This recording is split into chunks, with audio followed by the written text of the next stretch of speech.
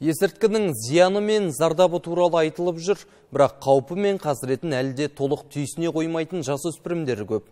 Кәмелетке толмағандардың бұл іске араласуы, зиянды заттарды тасымалдауы өзекті мәселеге айналды. Жасөспірімдер арасындағы нашақорлықтың алдын алу мақсатында Талдықорған аграрлық технологиялық колледжінде арнайы семинар өтті. Облыстық есірткі қылмысына қарсы іс-қимыл басқармасы мен наркологиялық мекеме өкілдері бірлесе студенттермен кездесіп түсіндіру жұмыстарын жүргізді. Жиында нашақорлықпен айналысқандарға және тасымалдауға көмектескен азаматтарға қолданылатын жаза жайында кеңірек айтылды.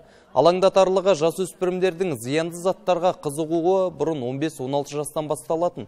Қазір 10-12 жастағы балаларда тұтына бастаған. Жаңа эмоция сезінгісі келген жеткіншек есірткінің дәмін бір рет татып көремін деп ойлайды.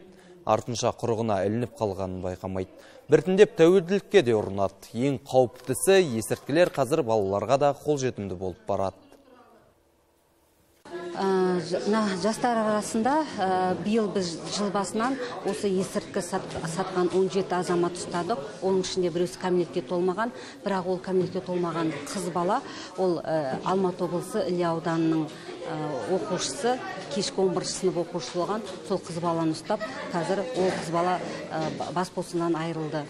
Енді көбінесе жастар қазір білесіздер есірткі сататындар осы әлеуметтік желіде жастар көбінесе отырады сол сондықтан осы әлеуметтік желі арқылы жастарды осы есірткіні сатуға таратуға тартып жатыр.